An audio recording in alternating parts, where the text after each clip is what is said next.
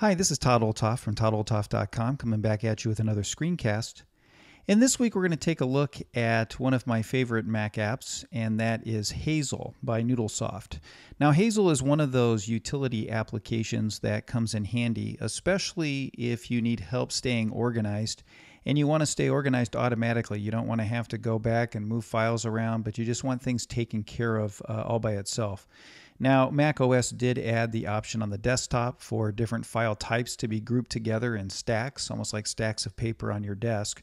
Uh, so Hazel can do that, but what Hazel does even more is Hazel can do all kinds of things like labeling uh, those particular files with a name, moving them to different folders, uh, creating folders, uh, looking for uh, different items that show up in a folder, and then moving them into wherever you want them to go in terms of your documents or if you want them to go in your photos library.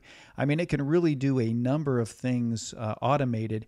And what's nice about Hazel is that it's a lot easier to use than an application like Automator. So it does cause things to work smoothly. So this is the Noodlesoft website. If you're going to buy Hazel, uh, Hazel is $32. If you're looking at an upgrade, it is $10 if you've got a previous version of Hazel. So let me just go ahead. I've already installed it. Let me just put this window down. And Hazel lives in System Preferences. And you can see right here I've got an icon for Hazel. Let me just go ahead and click on that. And this is the Hazel interface. So you can see here I've got three tabs. I've got folders, trash, and info. And what I want to do in this screencast is give you an overview and a demonstration of how it works so you can see uh, why this is one of my favorite applications. Uh, you can see here that it's running right now. I can stop it at any time. I also can show the status in the menu bar and, and that comes in handy. I would leave that checked so that you can get access to it easily so that you can run uh, an actual rule or stop a rule if you need to if something goes wrong. So it just gives you quick access without having to go into system preferences. Uh, I can also set notification options here. Let me just go ahead and click on that. So I can have notifications for any errors that happen, uh, file events, or trash events. And what that'll do is cause uh, a notification to slide out on your desktop to let you know what's happening with Hazel uh, if any of these different events come up. And you can uncheck the ones that you don't want to see. In my case, I'm going to leave all of those there and just click OK. Now I can check for updates of the application. I can set all of that in here. And then my license information goes right here as well, as well as the uninstall if I want to uninstall it. So that gives you the information there. Let's go ahead and just uh, take a look at the trash area real quick because one of the things that Hazel does do is it also will keep your trash clean and up to date. You can see here that I can choose when I want trash to be deleted. I can delete files sitting in the trash for more than, and if I just uh, check this, I can say a week, I can say an hour, days, month, year. Uh, so I can go ahead and set whatever terms I want there. Uh, I can also choose to keep the trash size under a certain size. You see here one gigabyte uh, all the way up to a percent of disk capacity or megabytes.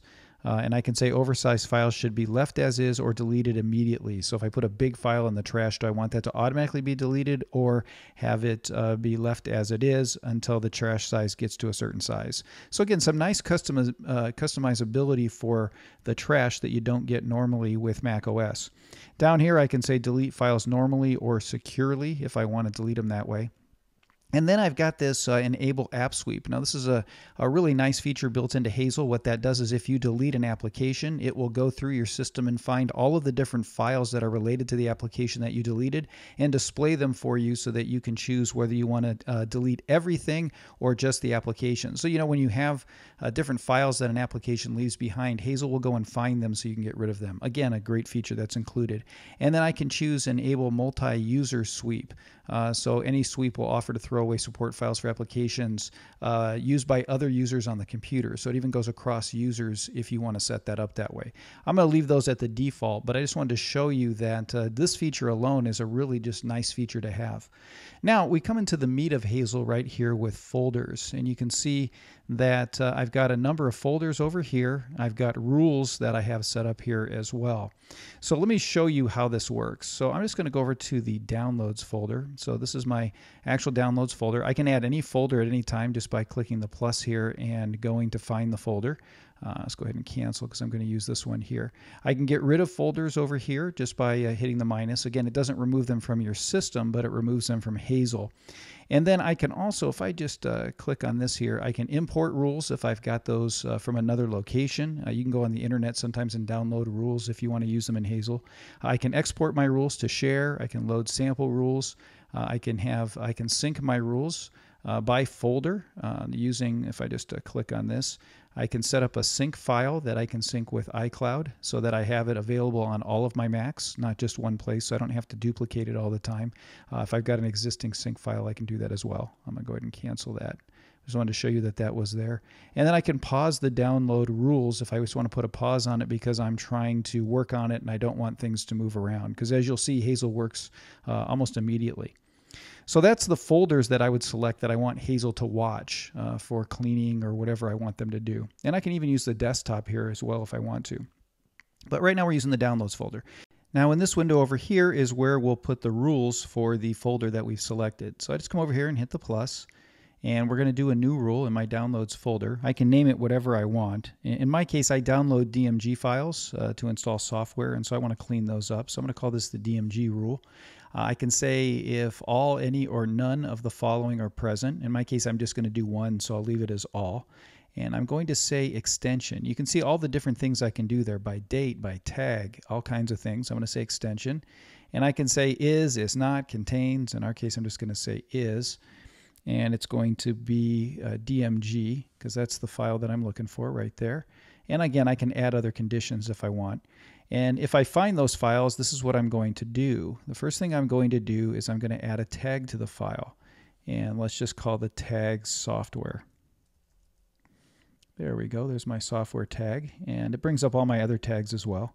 And then I'm going to hit a plus here because once I tag it with software, I want to move it to a folder. And what I've done if I just say others, I've created a DMG folder here in the downloads folder. And we're going to say open.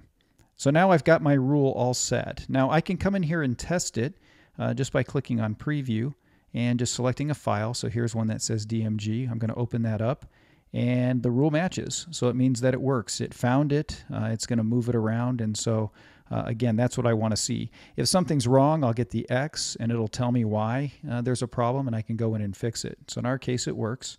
So I'm just going to go and say OK. And so there's my rule up there. I'm just going to uncheck it for a minute. So that's my DMG rule. Now what I'm going to do is test this and let's just see if it works and moves those files in there. So what I'm going to do is I'm going to go ahead and uh, open a Finder here. Here's my Finder window. We're going to go into the Downloads folder. So you can see there's my DMGs right there. I'm going to go ahead and check this rule. And I'm going to come in here. And what I'm going to do is, if I come up to the menu bar item up here, I've got the option to run a rule. And so I'm going to run the download folders rule. And so I'm going to go ahead and just click on that, and it should start to move the files for us. And you can see there it goes. It's moving them into the DMG folder. And if I just click on this, you can see that there they are. There's two of them in there. Now it's interesting that it missed this one right here. I'm going to run the rule one more time just to see if it doesn't pick that one up. Okay, so as you can see, it's moved all the DMG files into the folder. Uh, I had a process running in the background that was slowing things down, but you can see there's all the DMG files and they're moved into that folder.